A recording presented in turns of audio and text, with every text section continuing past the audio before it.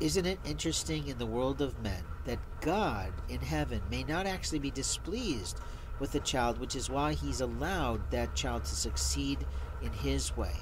And yet there are people from a biological family or a neighborhood again and again that think that they're in charge of what God is pleased with today.